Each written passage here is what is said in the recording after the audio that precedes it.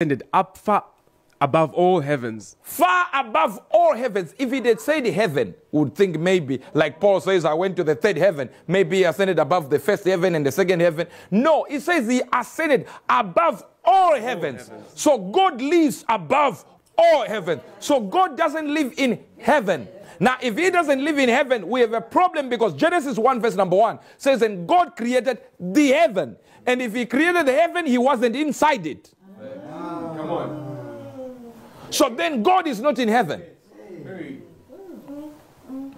Mm.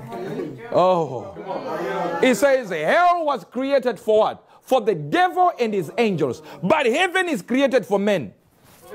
So who is in heaven? Men. The Bible says the man Christ Jesus. Oh, colors that boy. So when Jesus is in heaven, that's the man. The God Jesus himself is in you and I. That's why the flesh Jesus, the body is still there. Where is it? In heaven. Because heaven is for men. It's not for God. God lives far above the heavens.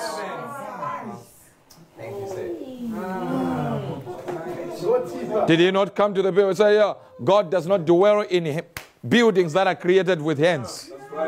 Doesn't dwell in this. It's too little for him. He doesn't dwell in a place he can create. He's bigger than his creation. So he can't be housed in a place.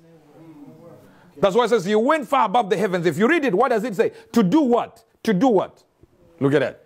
That he might fill all things. He might feel all things. He's bigger than anything he creates. He is inside everything he creates. He is in this phone right now. He's here. He's in this thing right now. He's in my watch. He's ah yeah. He's everywhere. I don't know if you're feeling this with me. So God is